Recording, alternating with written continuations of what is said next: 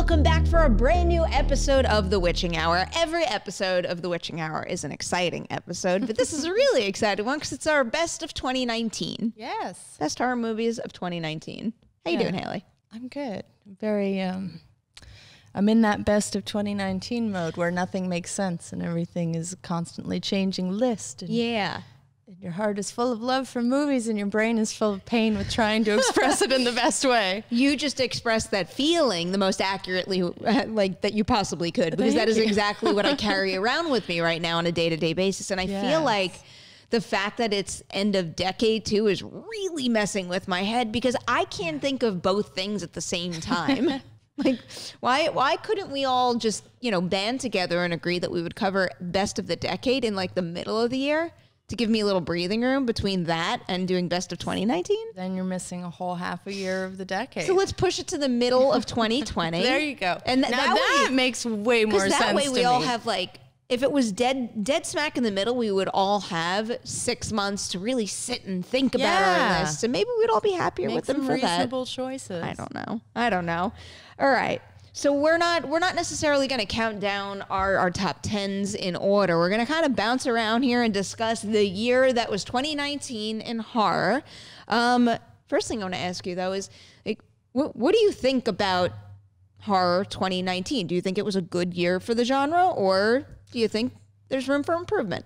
I think it's a combo of both. I always, I don't know, the the as much as it seems to torment us, the process of putting together these lists always gives me some insight into the mm-hmm. year that was. And this year, coming up with a, a concise list didn't feel as hard as it did for me the last three or four years. It wasn't like I was cutting off, you know, tens of titles I also mm-hmm. adored, which seemed to be a problem for me in the last few years.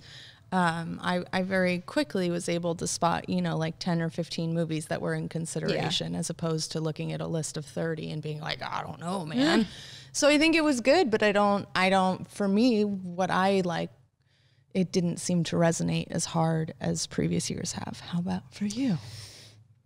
With certain things, yes. I feel like I'm I'm extremely enthusiastic about my top 5. And then I really really really like my top 10 and then I also like a lot my top 20. Sure. But looking at looking at the list of favorites and just you know taking a step back and assessing it overall i am very excited by you know the mix of original films the mix of things that really popped for me on a streaming service then the the you know there's some adaptations there's a sequel in here. I, I don't know it's just like a very nice variety here. There's horror comedy there's, there's super like dark dreary stuff that i loved. I, just, I, I really really take to the mix here. And it mm-hmm. also really excites me for for festivals that i love. When i look at this list i saw one two three at film festivals and they just really stuck with me. So it you know it says to me that when you want to go find a good horror movie, go to South by Southwest. Overlook is on the rise because one of these movies that I saw at Overlook that I bet you anything most people out there have not seen is in my top 10 only because I was made aware of it through that festival. And Right. that's the kind of stuff I love to notice. Oh yeah, festival. I that's my favorite stuff. The I little know. weirdos. I know. God love the little weirdos, and they're my faves. Um, it's been. I mean, yeah. I'm not trying to suggest in any way it hasn't been a good year. I think perhaps the opposite is that I'm suggesting the last decade was such a wealth um, that perhaps I'm curious to see what the next decade looks like. As am I. Yeah. Uh, you know, it feels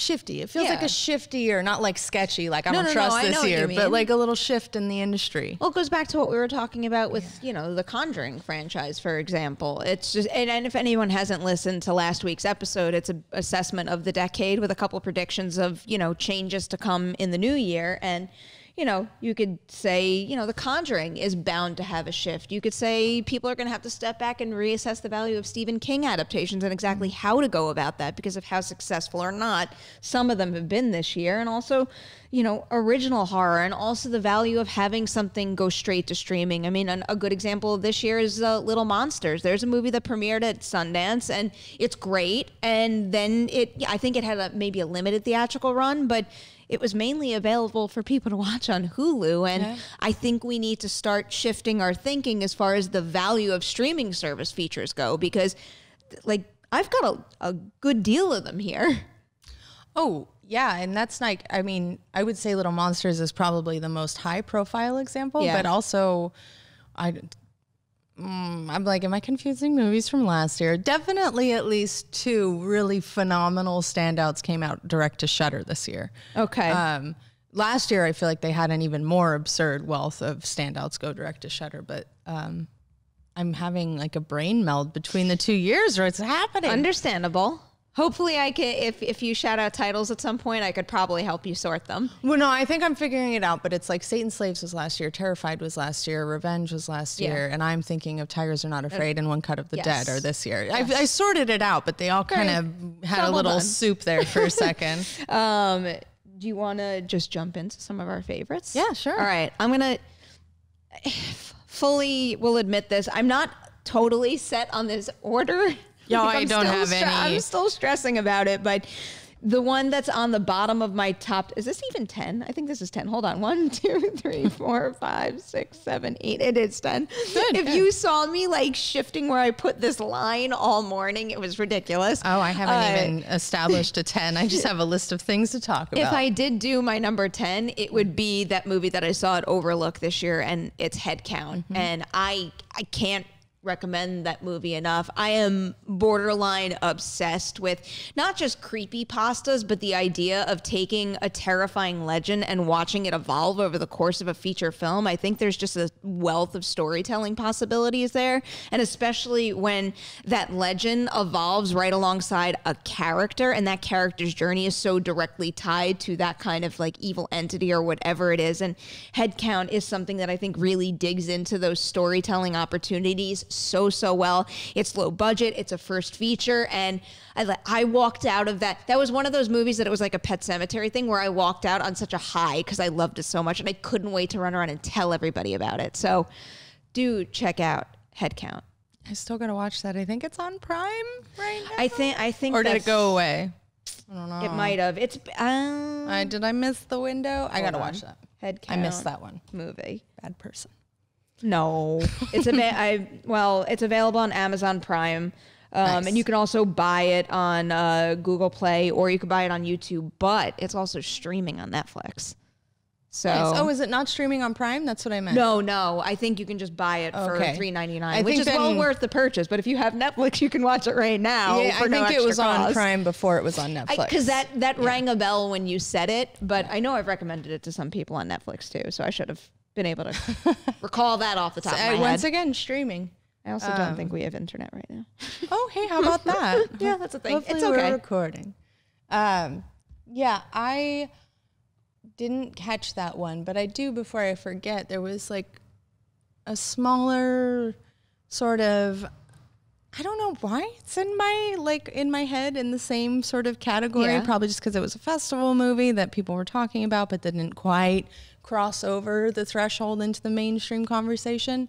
But Harpoon was a really fun, like dark friends go away and have a bad time. But I heard a lot about it. Um, yeah, that one was that one was fun and cheeky and violent and and just kind of rooted in not not like you were saying at all anything to do with um, creepypasta, but more just these messed up human relationships that get real bad when you get stuck together Okay. and you thought you were going to have a fun vacation. I would like to see that. Rivalries, dark secrets, and sexual tension emerge when three best friends find themselves stranded on a yacht in the middle of the ocean. To- Ooh, that's my kind of movie. Yeah, it's fun. I'm so excited. Yeah, Makes that me, it one- makes me think a little bit of Sweetheart too. Yes. Um, I personally love Sweetheart a lot more because I thought that Sweetheart had really interesting things to say in the midst of that like seafaring horror. Yeah. Whereas Harpoon, I think, is just a more like interesting character study without commentary necessarily. Got the kid from Turbo Kid in it. Yeah. Now it just like bumped up on my must watch cool list one. even higher. I love him. yeah. Cool. That, I don't know why that just popped in my head, but that one wouldn't be like on my my theoretical top 10 Yeah, list yeah. I haven't made Okay. yet. Okay. But Give it me- would be me- like in a in a top you should watch this movie and you might have missed it. I will take that very seriously. But give me something that would be in your theoretical top 10. theoretical top 10. Surprise me first. Um, well, see, I wrote down 15 movies. It's okay. Um, you could say all 15 if you want. Theoretical surprise you. What would surprise you? Okay. Um, have you- Basically anything that's not Midsommar. that would not surprise you. That's very comfortably sitting at number one. I had a feeling. It's like the one that I was like, okay, well, Midsommar, and then what?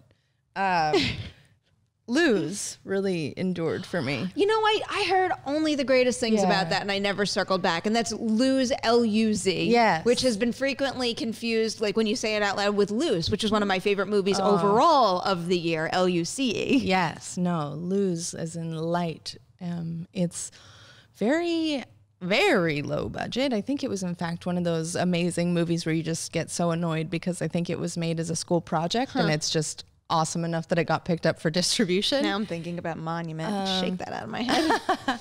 No, no. Uh, this is it's like a possession movie and it's really artfully and theatrically told and it's definitely one of those ones that's like not for everyone. I think there's um like a certain amount of my taste gets put into the sort of like pretentious art house category, which is weird because I just consider it weird shit.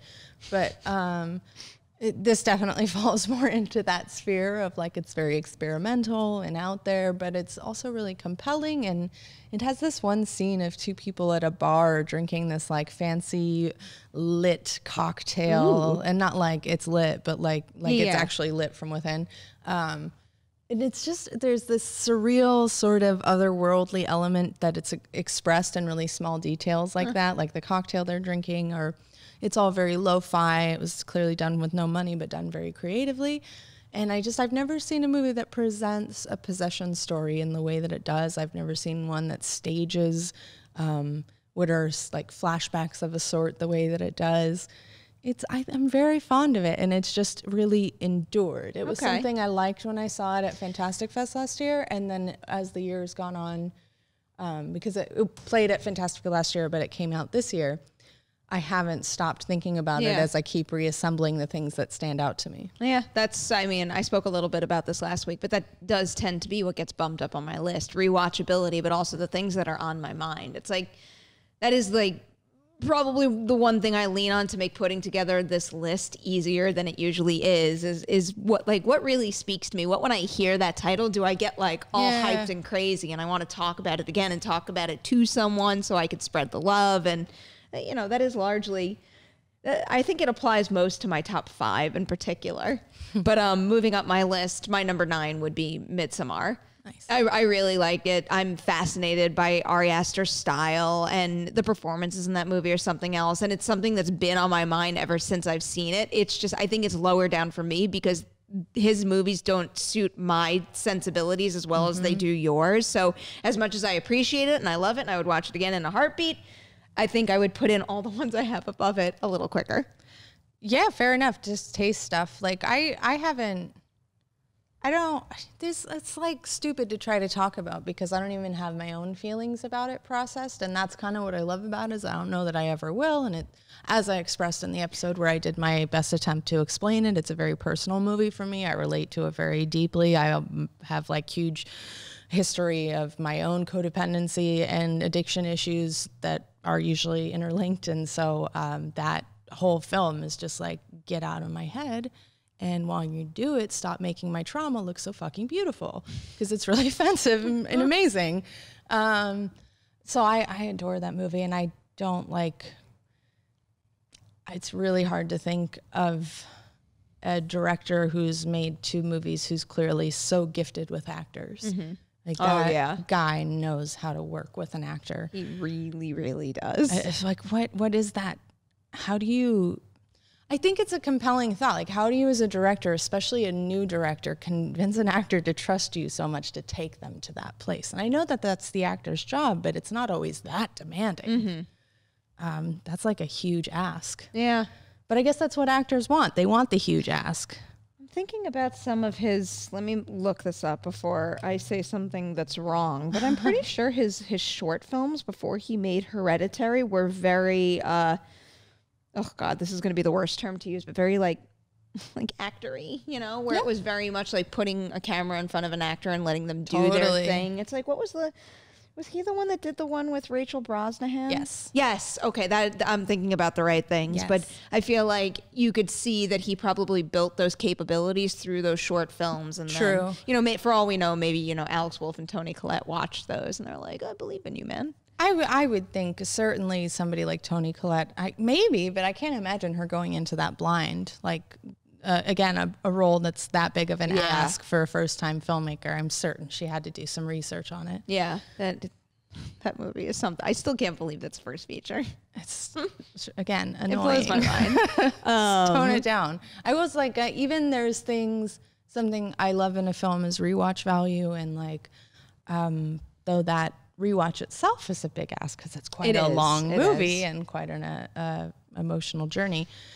I definitely continue to notice more and and pay more. I think it's such a richly constructed, and I can't remember the uh, set decorator's name right now, but he did such a phenomenal yeah. job that there's just it's one of those movies you can watch a million times and always see something new in the very background, true. which I love.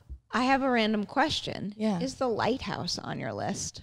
Um, I don't even like. Maybe I'm wrong. It doesn't read to me as horror at all. I yeah, it honestly that and Joker were ones that didn't initially come to mind that I see popping up on a lot of lists out there, and th- they both have horror qualities to them, no doubt. But I didn't immediately file it in that department. Joker is on my like brainstorming list Yeah. here because I do find that the last uh what 20 15 20 minutes of that movie are quite horrifying and effective. Yes. More so than I expected. I think it's even more of the movie. I think that was one of the most surprising things that I caught on my rewatch. I don't know. I just thought, you know, I thought the subway killing happened way later than it really did. That actually happens really early in the movie. yeah. And then and like just the downward spiral that takes place at the end. That that's a much more significant chunk of it than I really remember. Yeah. It's a I mean even more so than The Lighthouse, I see that as a horror movie. Yeah. Um see The Lighthouse as a fantasy, like Yeah, kind of I- a I dark could see fantasy. that. Yeah. Um, Very dark. Yeah. I I really I do like Joker. I don't think it who knows? I haven't I haven't put anything in stone. It could wind up wherever I, it winds up.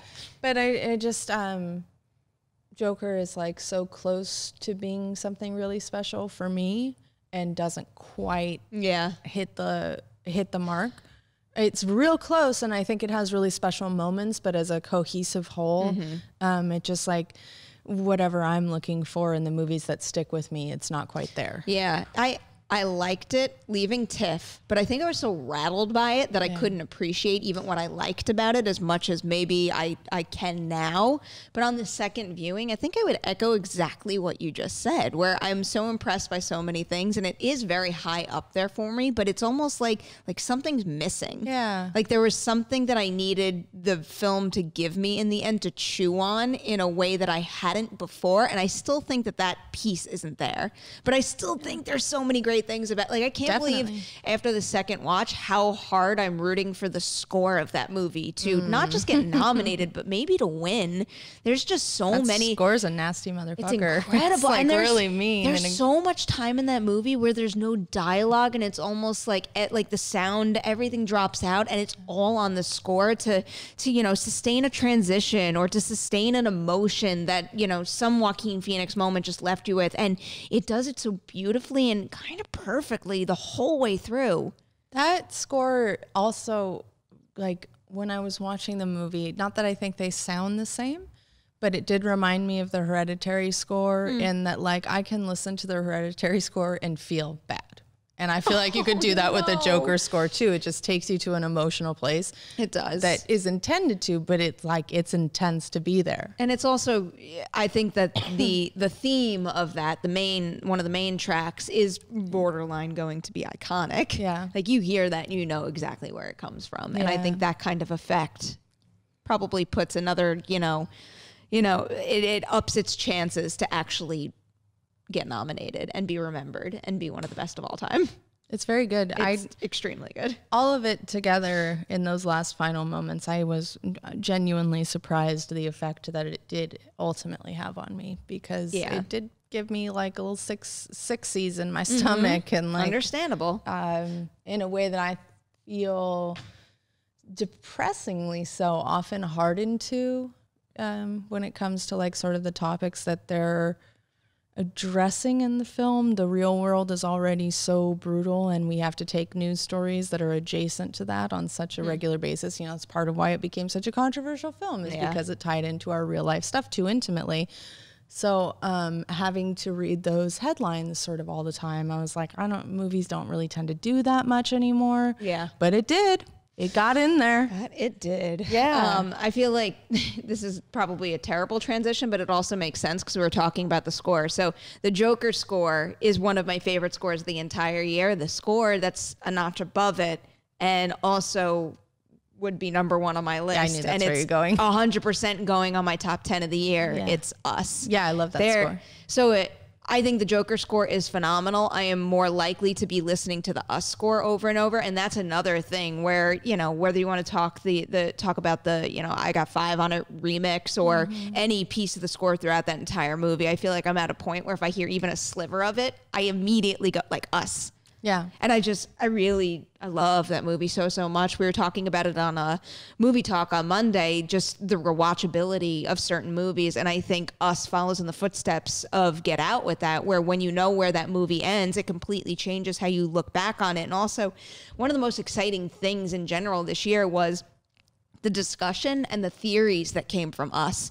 Because I've watched this movie more times than I'm willing to admit and it is a fascinating experience taking somebody's theory rewatching the movie with that theory in mind and seeing new things that you never saw before. Mm. And it's just you know like I think it speaks to some of some of the themes and ideas of this movie like just certain judgments we make of certain people and how that might not be accurate and how easily it can be to be fooled by a certain persona that you put on and all, all of that kind of stuff. And I just like a movie that inspires you to to play along and really think and really try to put yourself in someone else's shoes that could be completely different from your own I don't know. Like my head can go in circles over and over and over examining like every single perspective every single side of like whether you were a tethered individual or someone who was living above ground their entire lives it's just mm-hmm. I, I am endlessly fascinated by that scenario I think it's very I I told you recently that I revisited it and it's not again, I liked it a lot the first time I watched it. I wasn't fully obsessed with it like a lot of people are and I still am not fully obsessed with it, but I think it's damn good and my I think the reason I'm not fully obsessed with it is interestingly converse to what you were just saying, which is I think it answers way too much. Um, and I personally my preference are films that are I guess slightly more ambiguous. And there's a line where you become annoying with your ambiguity, but um, I, I could have done with a little less monologuing, let's say. okay Um, so it doesn't quite conjure in me the same like theory thing because I feel like it answers all of its own questions very uh, summarily. But I do enjoy rewatching it just because it's real fun. It is real fun. I think my my theory questions as far as whether or not the information is revealed is a little more limited. I think it's more of the challenge of trying to, you know, really understand and feel where someone's coming from. I think that's the thing. It's like, you know, a brief spoiler warning if you haven't seen us, but I want to bring this point up in particular. It's like, you know, the bit about you know, is is that her real son or is it Pluto kind of thing? Yeah. Because having that in mind and going back and rewatching it and then thinking about, you know, like who knows what about who's up there and how that was all. Ha- I don't, I don't know, just all of that. I, I like thinking about how that character changes if it was one way or the other. And I think that's all really fun. I mean, we talked about this on the podcast. Yeah. I don't really buy that theory at all, but I- it's it's I fun to think about. the more I watch it, the more I do. I don't buy it at all. I don't think it works thematically, and it's fine. It's fine. And we don't need to get people really mad at me for saying that I don't believe it. I just don't. I don't think it's what the movie's trying to say. Um, but I do love that the actors are so good. I'm They're trying so to like not get yelled at for my opinions. I What don't did- know. I just like. did Shahadi Wright Joseph get a Critics' Choice nomination? I'm oh, I hope sure she did because she was terrifying. Critics' Choice. I think she's the scariest one in the movie. by now. I rewatching it. She's great. I really think that she was even scarier than Lupita, and Lupita is freaking freaky. if Lupita gets that Academy Award nomination, I just want to have like a whole party just for that nomination. Just I want to see it it happen. happening. Even with um some of the recent uh, nominations she's getting, I don't know. I think she has a real chance now. Maybe. Yeah, Shahadi Wright Joseph is in the category for Best Young Actor Actress at the Critics' Choice Awards. I'm so happy Good, with how this. deserves Uh, like I said, I've said this before, but usually when I vote for things because I'm in BFCA, I usually like I don't pick the things. I don't love the things that most uh most critics love i guess. I don't know. Or most people in that that voting body pick. So i always pick like really obscure things and then my nominations never pan out. But i feel like the best young actor actress category there are so many here that i was really rooting for. I don't know. I'm just so excited to look at this category right now. Good. um do you want to name another one? Because i just named one of mine. Um, sure, yes. I will say that for us, I really find it before we move on because I did want to talk about this. Just that he is such a sort of sort of in the sense that I was talking about how ridiculously good with actors Ari Aster oh, is. Oh, yeah. I find that well, he's also very good with actors, although I think he maybe doesn't quite I don't watch that and go like, why would someone want to do that? like when I see Ari Aster's performance he's asking for, yeah. I'm like, why would you need that therapy? Like, why would you do that to yourself?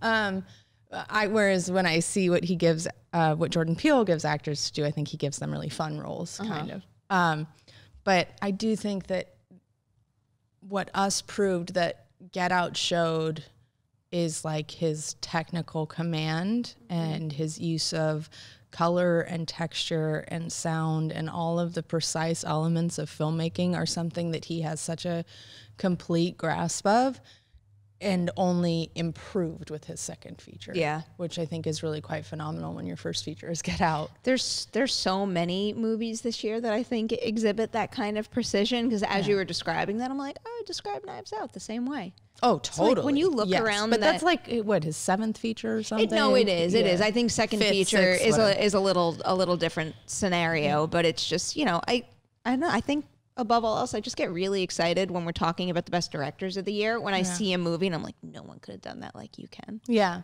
That's the thing that I really gets me pumped, and I think I would apply that statement to both Knives Out and Us I would agree with that. and many others.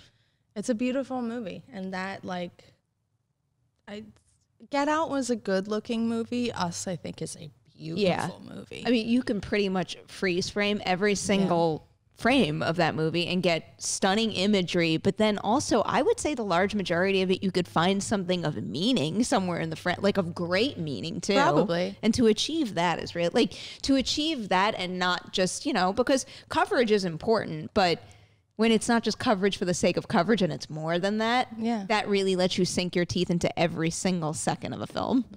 And it's cool. it's a lot of It's fun. cool. Uh, what would I what would I throw out there? All right, curveball. I think I think this will end up in the top ten.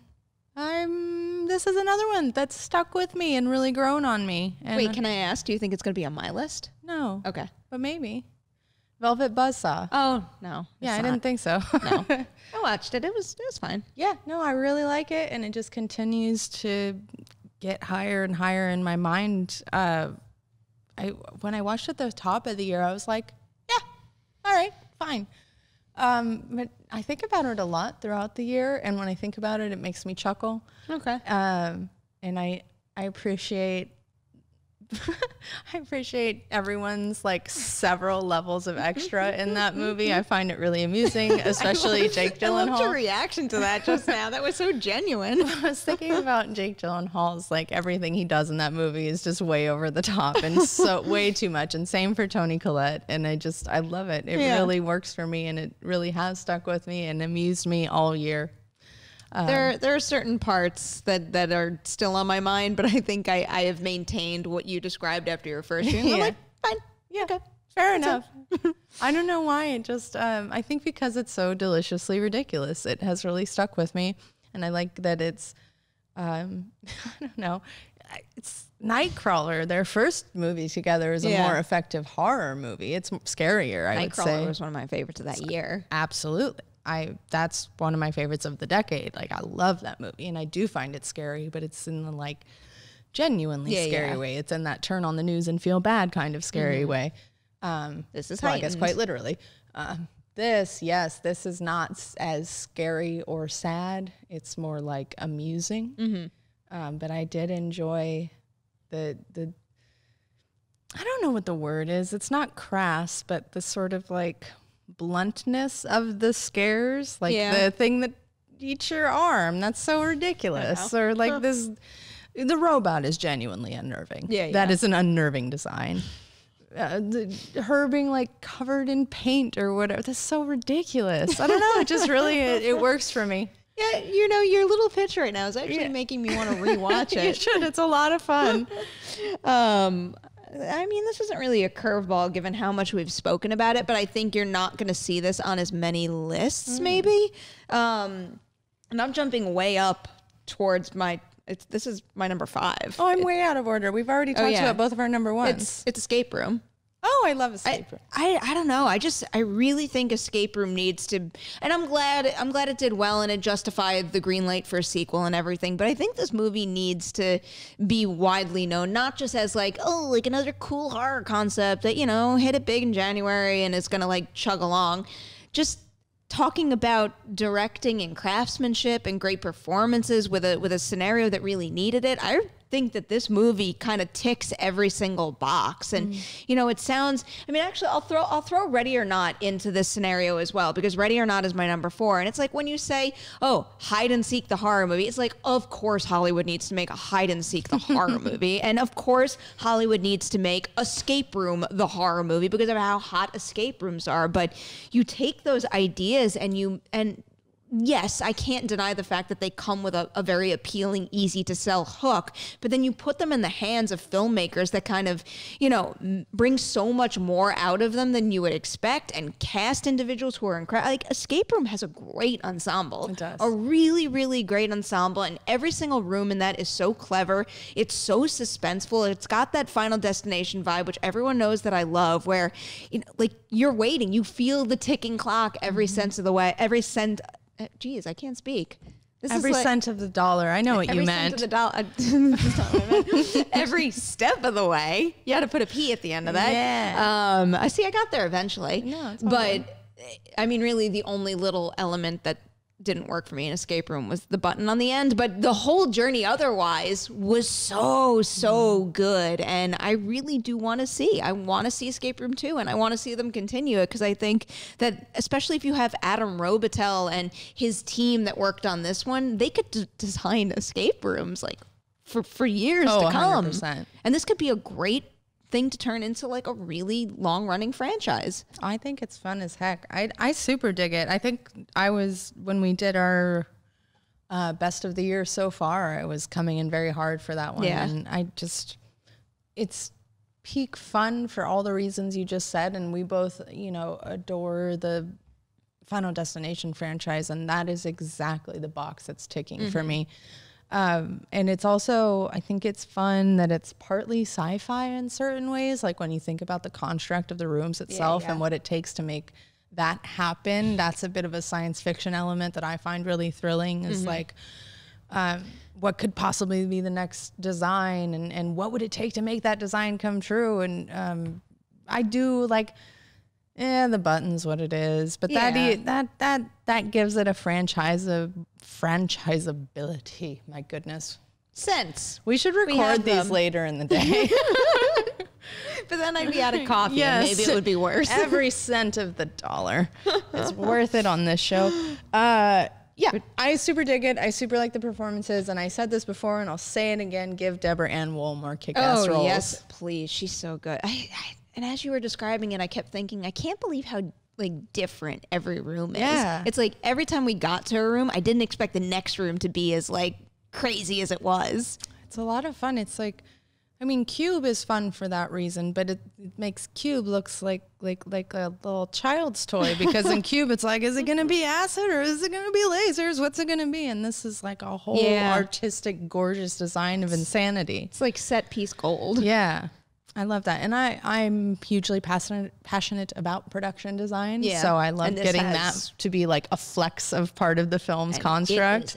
filled with it. Yeah. I feel like we should just sidestep over to Ready or Not because I already uttered it. Yeah, sure. And we're it's definitely on It's everyone's my, list. It's my number four. Nice. That like what a, cool movie. I so still, much fun. I still can't believe that hide and seek the movie worked. Oh, yeah. But. I love, love, love the mythology they build around that game. And Samara Weaving is, you know, she she's not even that new to the industry anymore. She's had quite a few performances to her name that you know make her a wow-worthy ri- rising star. But you know, this one in particular, I feel like this should be the nudge to that next mm-hmm. level. She's so good. She's such a good anchor for that kind of scenario. I wouldn't be surprised if it is. I mean, and especially hope. because I just fear not enough people saw Ready or Not. Maybe I'm just har- I harping on the true. maybe I'm just harping on the box office too much because I think it is doing fairly well on home release. But I just want everybody to know about her and Ready or Not. people keep bringing it up to me in my real life, so I know that it has reached. Good. Um,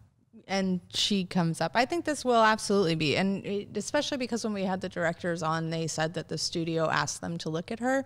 That says to me that she's well on her way.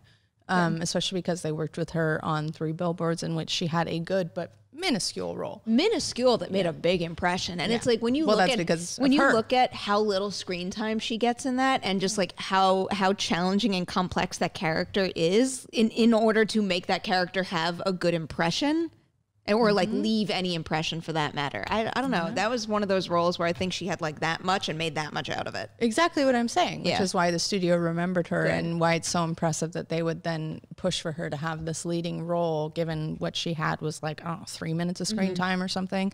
Like she's she's impressing the right people, which is studio heads, directors, and audiences. That's like what you need. And just wait for Guns Akimbo. yeah. well, I'm not sure that's gonna have quite the reach, but maybe. Maybe not quite the reach, but I feel like anybody who is like, you know, like, well, how much range does Samara Weaving have? Like, go watch that one next, and you're you're not gonna believe what you're watching. I've said it before, I'll say it again. She's like she's bound for a super suit. It's Yeah. gonna happen. Oh, she's for sure. perfect for it. I I would not be surprised if that was a casting story we're covering in the near future. Exactly. All right, what else you got on your list? What else do I have? All right, let's see. So we've done a lot of. Oh, well, I'm like, should we do the obvious? We're like in obvious favorites territory.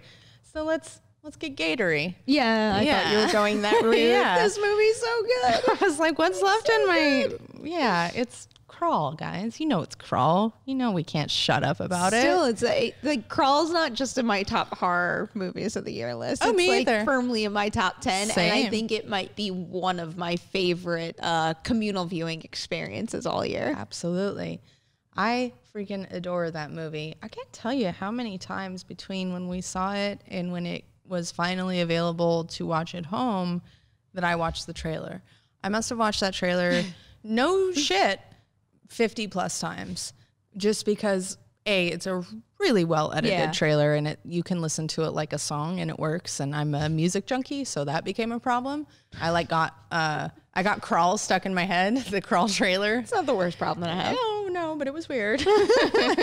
it's not something you can be like out with your friends and be like, let me just throw this on the playlist for a second. I would have been okay with it. Yeah. Sometimes when people are driving in my car with me, it's like I have a playlist playing of all, you know, alt rock music, but then all of a sudden either one of the Us tracks or Halloween will kick in and they're like, what the fuck is going on? Yeah, yeah. Everyone in your car is so surprised by the horror horror. I mean, it's a weird thing that blasting in your car. It's either one of those or it's March of the Resistance. Okay, now that one would throw me off a little bit. Yeah, I really like that track. I It's hope, I hope they play it in Rise of Skywalker. I just feel like having been in your car many times, that one would be one where I'd be like, really? I can't explain it. Um, Makes me cry. oh, that's nice. It's also weird. music. That's music makes people cry. That's like a thing. It's a bona fide thing. Don't feel too weird. Thanks. I feel better. I love Crawl and the yes, it got stuck in my head like a song because ultimately I love the movie so mm-hmm. much and I wanted something to keep me fed until I could watch it again. But I just it's so simple is the thing and that's what I love about it so mm-hmm. much. It is the same scene basically over and over again with higher stakes each time and the very construct is so simple. You're stuck with alligators in rising water. That's all you That's need. Yeah. That's all you need. It's, Mwah, it's just so well done too. Yes. I, I really like the fact that there's not too many frills storytelling wise. And it's just like, even though it is a very simple concept, that doesn't necessarily mean it's a simple production. And I watched so much of that behind the scenes Yeah. stuff. I mean, just to have rushing water come through their house set, what what they go and also like Barry Pepper and Kaya Scodelario, what they must have gone through shooting a movie like that, where mm. they're essentially like drenched in, in water the entire time. I don't know. Every single thing just wows me about that production. But you know, I mean, I guess if we're we're briefly spoiling things, I will never forget this particular moment watching a movie all year. So again, spoiler warning. I was very into it the whole time. But that point where she's got the damn gun in her hand and she's in the egg room and she has the gun and all of a sudden the gator comes out and fucking bites her. I now I'm cursing. And I just get so excited and it bites her arm and she's shooting the thing.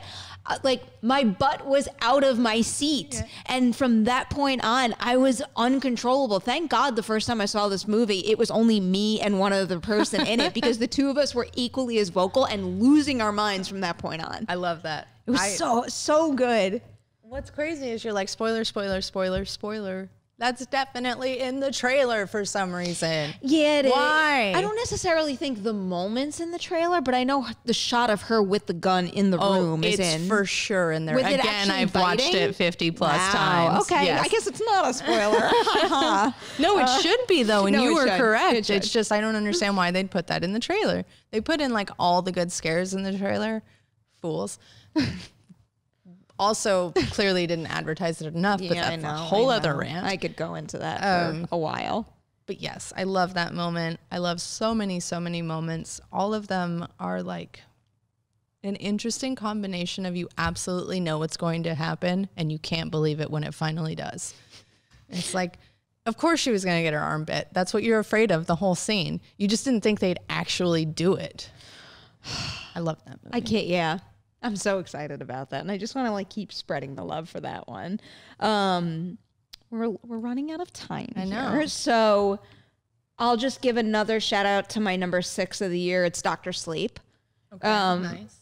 there's there's another one a recent release that I've I've watched quite a few times at this point and I think a lot of my love just comes from my intense love of the source material but also one of the things that I found most impressive about that is one of the biggest questions going into it is how is Flanagan going to honor the book which doesn't necessarily connect to Kubrick's The Shining movie but also honor the movie because that's where where most people will get the foundation from and the fact that he takes a big swing with that and I think it works pretty well is so impressive to me.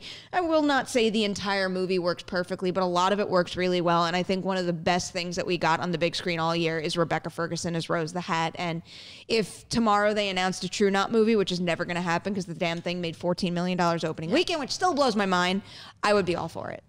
It's interesting. I need to revisit that one uh, because I literally forgot about it when I was putting these together. Um, Not many people are talking about it in best of the year context. well, I just like, I mean, that's fine for them, but I did a whole junket for it and I've read the book multiple times. Yeah. And like, I can't believe it. I straight up forgot about it. So that doesn't speak that highly of how it's holding up for me. But it's interesting because I did like it and I I'm surprised maybe that I forgot about it. Um, but also maybe not so surprised. That's it. I'm like That's working fair. through a lot of feelings right here. I'm Okay. like- That's I'm- what we're here for. I'm yeah, help you out with that. this, this is Tell therapy, it, right? um, yeah, I I do like it a lot, but I obviously need to rewatch it if I've already like two months after I went to the Stanley forgotten Mm-hmm. about it. I I don't know that anything in it like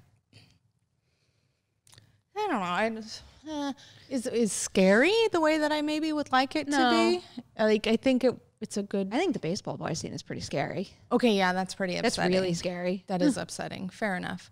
Um, that scene's really scary and and a scene as far as like you know visual style and architecture goes that really wows me every time I watch it is the um is the Abra versus Rose scene. what you were I think that is just oh it's so beautifully shot. Something like that shouldn't work and I am just like I'm mesmerized when that scene kicks in. Yeah. I liked it. I need to watch it again. I wish they had um, sent screeners for that one. But yeah, that would have been nice. let's see. What else do I want to make sure we hit before we leave? Uh, okay. Well, I've already talked about these 45 million times on this podcast, so I don't Even just name dropping That's what right I'm gonna now is do. valuable. Yeah, so One Cut of the Dead and Climax Yes. are both just like Yes. if you haven't seen them, Climax wound up a lot higher on my overall year Nice. list than I thought it would. it's very good. Because, like, you've watched the crawl thing over and over. Yeah. Do you know how many times I've watched that opening dance sequence? oh my god, it's amazing. Stupid amount of times. And it's on Amazon Prime. That I know for sure because I also have revisited the dance sequence. Um, yeah, I love that movie, and it is truly a work of like phenomenal camera work, just like mind blowing Mm-hmm. Yeah. camera work, It really is. um, and physical performance, and uh, from Sofia Boutella, emotional performance. Definitely. She's so good. Uh, but I, I do love that movie, and I do love One Cut of the Dead, which might end up on my like Mm-hmm. whole year top ten, maybe. I don't know. we'll see. We'll see what happens. Okay. Um, and Tigers Are Not Afraid, which Yes. is I, like I have Tigers Are Not Afraid on my list. big time, cry your eyes out levels of sad. One more I have to add because it's my number three on the list, and it's it's just it looks like it's just getting bumped out of my top ten at this point, but I still love it. Uh, Pet Sematary was also one of my favorite movie moments of the year because you know the story. We were at South by Southwest, and I was so excited to be covering La Llorona and that back to back. And I didn't hate La Llorona by any means, but I was disappointed I can't fucking process that that movie came out this year. Yeah, isn't that crazy? The fact that we like I know because I was there that we went to South by for both of those, Yeah. but I just like my brain broke a little bit. So this has nothing to do with horror, but the movie that someone said that to me and, and it Yeah. broke my brain a little was The Upside came out this year. Oh, wow, yeah. And I'm like, what? no way. And yeah, it did come out this year. Wow. Um, but Pet Sematary, I'll never forget how I felt when we were walking back to our hotel and just how excited I was. Yeah. I really do. And I know it's not the popular or common opinion. I think that that is such a well crafted adaptation where they kept just enough of the book, mm-hmm. added just enough new elements. And I applaud them all day for just like digging into the darkness and the meanness of that book. I'm surprised how far they pushed it. I think all the performances, particularly Amy Seimetz and Jeté Laurence, are really damn good in that movie. And that is one of those ones. I like it's weird to get so excited about something so nasty, mm-hmm. but that's one that got under my skin in the best way. And yeah, as sick as it sounds, I carried it around with me for a very, very long time and still have it with me. And I'm kind of glad. Wow. Okay. I'm, I'm very, very impressed. I, I like that movie a lot. Obviously, ever since we saw it, I did not like it quite as much Yeah. as you, but I do like it a lot. And my like the the deal breaker for me remains what they did with Judd, which I just hate. But everything else I really like. A criticism that I definitely understand, but something that didn't affect my experience as much. She's like my favorite character in the book. I get so that, I was get like, that. That's kind of a deal breaker. He's a- but He's an especially well developed of the character in the book. works really well, and I would say that those acting performances are on par with some of the horror acting performances that are getting more attention this year. Yep. Um, and I just am still quite surprised by the intensity of the dislike for it. Yeah. The only reason why I might not be surprised is because of how dark it is, and I understand it's like The source material is super dark, so Yeah. I don't get that. But I feel like I know Stephen King, that you know, his books are, are very well read, but I feel mm. like it's not a one for one with the wide movie going public. And it's like I think of the cinema score for that movie, which I think might be a C plus, and I can understand someone like feeling crappy after that movie just because of, of what happens in it. And then, mm-hmm. you know, ticking off a box on that sheet that isn't particularly high. So I can understand that bringing down the audience score, so to speak.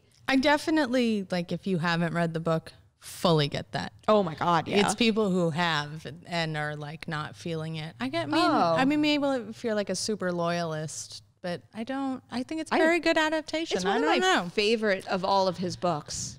Me too. So is Doctor Sleep, really, and I, I was very happy with how both were adapted. Yeah, it's.